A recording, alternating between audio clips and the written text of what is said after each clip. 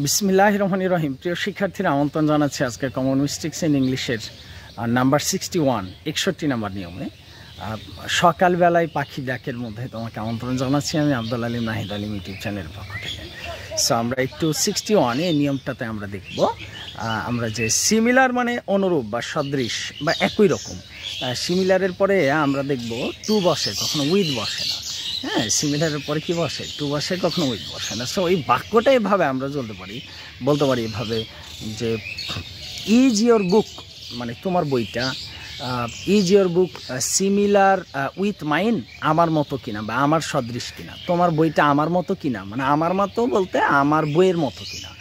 So এই বাক্যটা আসলে ভুল। কি হবে? সিমিলারের পরে আসলে উইথ হয় না? কি হয়? সিমিলার টু হয়। তাহলে is your book similar to mine so আমরা দেখলাম সিমিলারের পরে কি হয়? টু হয় উইথ হয় না। তাহলে আমাদের সঠিক বাক্যটা আরেকবার বলব যে is your book similar to mine তোমার বইটা কি আমার বইয়ের মতোই বা আমার বইয়ের সদৃশ? এই ছিল আসলে সিমিলার নিয়ে আয়োজন। থ্যাংক ইউ সো মাচ আল্লাহ হাফেজ।